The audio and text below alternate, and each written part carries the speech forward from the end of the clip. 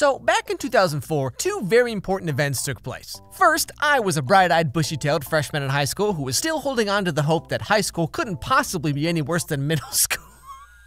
I'm sorry. If only I had known. But also in 2004, UPN, which we now know as the CW, came out with a brand new teen mystery dramedy called Veronica Mars. This is one of those shows that I had heard about at the time and I was like the perfect age for, but just never watched it, you know, because the main character was a girl. Now, Veronica Mars only ran for three seasons and was canceled in 2007. There was a Kickstarter movie in 2014, and just last week, 15 years after the show first debuted, a fourth season revival was released on Hulu. And I figured this would be a perfect time to take a look back and see why everyone still loves this show so much. But before that, really quick, this video is sponsored by Audible. If you don't know what Audible is by now, Audible is an online service that lets you download audiobooks, audio newspapers, and just like all kinds of spoken word entertainment. Right now, if you sign up with my link, audible.com slash Alex Meyers, or text my name, Alex Meyers, to 500 500, you can get a 30-day free trial where you get one free audiobook and two Audible original programs. Now, Audible originals are exactly what they sound like. Audiobooks are some kind of like audio entertainment thing that you can't find anywhere else, or exclusive versions of books like The Adventures of Tom Sawyer read by Nick Offerman, for example. And once you've signed up, you continue to get one free audiobook regardless of price and two more Audible originals every month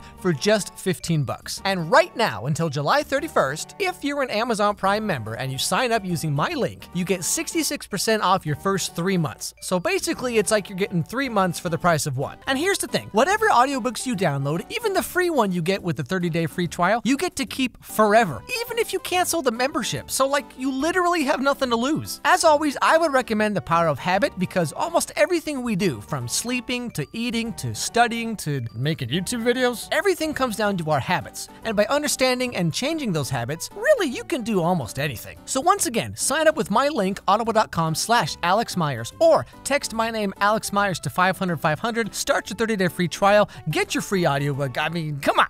Okay, back to the show. So, right in the beginning, we meet our main character, Veronica Mars. Just your average teenage girl trying to survive high school and solve mysteries and stuff. This is my school. If you go here, your parents are either millionaires or your parents work for millionaires. If you're in the second group, you get a job fast food, movie theaters, or you could be me. My after school job means tailing philandering spouses or investigating false injury claims. Now, I know I say this all the time when I go back and watch older shows, but this time I really mean it. How does Kristen Bell look exactly the same 15 years later? I mean, if this isn't proof that we've been taken over by alien robots from outer space, I don't know what is, okay? So later in English class, we get a glimpse of what kind of student Veronica Mars is. Veronica Mars. Mm-hmm. Congratulations, you're my volunteer. Hope, an essay on man, epistle one. Hope springs eternal in the human breast. Man never is, but always to be blessed. The soul uneasy and confined from home. You know what I think is interesting about this scene right here? So, Veronica answers the question even though she wasn't paying attention or whatever, and you can see everyone rolling their eyes like, look at this girl knowing stuff. what a loser. But then, just a few years later, we get a very similar scene in the Vampire Diaries. Pearl Harbor? Um, December 7th, 1941. John F. Kennedy assassination. 1963. Korean War. 1950 to 1953. Ha! It ended in 52. It was 1953. So I'm just a little lost here, okay? Like, is being smart cool or not? Because, like, how am I supposed to know what to think if all these TV shows just keep changing all the rules? Now, one of the first things we learn about Veronica is that she actually used to be one of the cool kids back when she was dating this guy, Duncan Kane. I used to sit there, at that table. The only reason I was allowed past the velvet ropes was Duncan Kane, son of software billionaire Jake Kane. He used to be my boyfriend. Then one day, with no warning, he ended things. And that's when I decided that if I can't have love, no one can. So from that day on, I've been swiping right on every guy who has a picture of himself holding a fish, which is way more common than it should be, but that's a different conversation. Then we go on a date where I pretend to think it's so funny how he still quotes lines from Borat, and then I never text him ever again. That's why they call me the Ghosterer. But actually, turns out Duncan and Veronica's relationship has a lot more going on than just your typical like high school thing. You see, some time ago, Duncan's sister, who was also Veronica's best friend, was mysteriously murdered, and Veronica's dad was the sheriff at the time time. Now, he was convinced that the girl's dad had done it, aka the most powerful guy in the whole city, but then someone else confessed, and long story short, Veronica's dad lost his job. And of course, thanks to technology, word traveled pretty fast. It's the Lily Kane video. How do you think that family feels? Six weeks after Lily Kane's death, someone from the sheriff's department leaked the crime scene video. Within 24 hours, it was all over the net. Streaming video made it possible. Streaming video in 2004? I wish. Let me tell you, if you wanted to watch anything back then, you had to download it from like Kazaa or whatever all night and then just hope it was what you wanted. But like nine times out of 10, you know, it was just like that Star Wars kid video. I mean, 2004 was a heck of a time. Anyway, so after being fired from his job, now Veronica Mars's dad works as a private detective, and her mom left because of the social stigma and all that. Duncan broke up with Veronica because her dad blamed his dad for the murder, and Veronica's just kind of stuck in the middle. Now, one day, Duncan's mom comes in to talk to Veronica's dad about something. Don't get the wrong idea, Mr. Mars. I don't like you. I hate the fact that I'm here, but I do know if anyone will be dogged and resourceful in this matter, it'll be you. Don't call me at home. I'll call you. And I'll need it right away. After this, we learn that she thinks her husband might be doing some and she wants someone to check it out. Now, later on that night, Veronica's dad gets a phone call about a different case and has to fly down to Texas for a few days. Now, as you might imagine, Veronica's not really one to just sit around doing nothing at 1 o'clock in the morning, so she hops in the car and goes to find out what's going on with Duncan's dad. She follows him to some shady, like, rinky dink little motel. You know, the ones you see on the side of the road where the sign just says, like, we have beds, maybe. But if my dad wasn't right about Jake Kane then, it looks like Mrs. Kane is right about him now. Not a lot of high powered business meetings taking place at the Camelot at 1 in the morning. Anyway, Veronica can't really get a good look at who Duncan Kane's dad's talking to, so she just takes some pictures of the area and gathers up some clues and, I mean, you know, just typical school night stuff. Now, a couple days later, Veronica's dad comes home and unleashes all his dadness at once.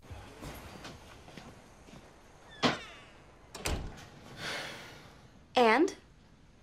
Who's your daddy? I hate it when you say that. You know what? This is important. You remember this. I used to be cool. When? 77. You know, when I was growing up, my parents always told me about how they used to be cool back before they had like kids or whatever. And I was so worried I was gonna end up like that. But turns out I had nothing to worry about because I was never cool. So, you know, crisis averted. Anyway, Veronica tells her dad about what she's found out so far about Duncan Kane's dad and the whole creepy motel thing and all that. And suddenly, her dad does like a total 180, just out of nowhere. The woman in question never stepped foot outside, but I did get pictures of license plates. I figured you could run them.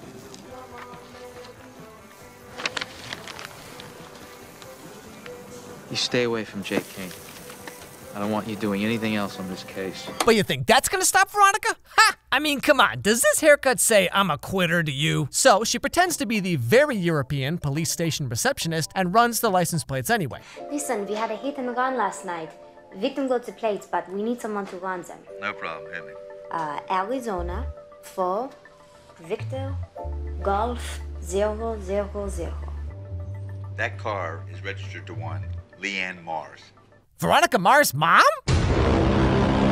That night, Veronica sneaks back to her dad's office and goes through his files. Now, here she discovers that he's still investigating Duncan's sister's murder after all this time. But that's when she finds something even more mysterious. The Lily Kane murder file. Some of these notes are less than a month old. My surveillance photo from the Camelot, why is it in the Lily Kane file? What was mom doing there, and what business did she have with Jake Kane? So, what was her mom doing with Duncan's dad down at Le Hotel de Herpes? What's their connection to the murder? Why is her dad keeping all these secrets from her? And most importantly, what's going on with these pants, Veronica? Now, at the very end, we close out the episode with a little monologue where we learn one last bit of crucial information about Veronica Mars. I used to think I knew what tore our family apart. Now I'm sure I don't. But I promise this I will find out what really happened, and I will bring this family back together again. I'm sorry, is that mushy? Well, you know what they say Veronica Mars. She's a marshmallow. I don't know what that means. But yeah, let me tell you, if you thought this was just another early to mid 2000s cheesy teen drama about high school kids doing nothing for like 10 seasons, like every other show back then, you'd be mistaken. And as someone who's watched a lot of teen dramas, both old and new, I gotta say, Veronica Mars has aged surprisingly well. Like this scene where she gets hit on by some local tough guys. The only time I care what a woman has to say is, is when she's riding my big old hog. So it's big, huh? Legendary. Well, let's see it.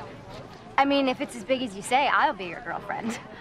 We could go to prom together. Don't let Blondie talk to you like that. Sounds like your buddy here wants to see it too. You know, nowadays this is pretty common, I guess, but back then you didn't have a lot of teen drama lead characters with this kind of personality, or sometimes any personality. But anyway, like I said, the new fourth season is up on Hulu right now, so whether you're an old fan or a newcomer like myself, it might be time to give Veronica Mars a watch.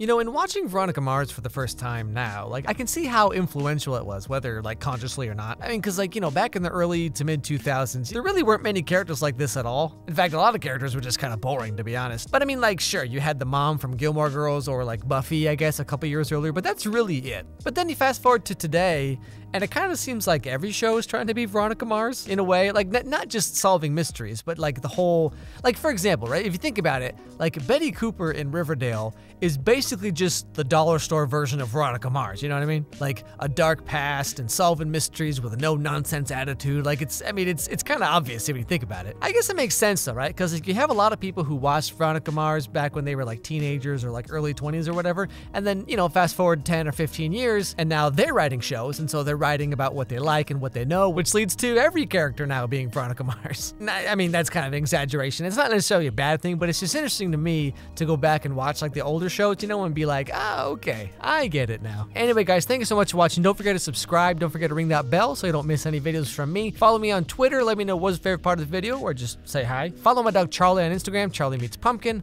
And above all else, everybody have a great day, and I'll see you all next time.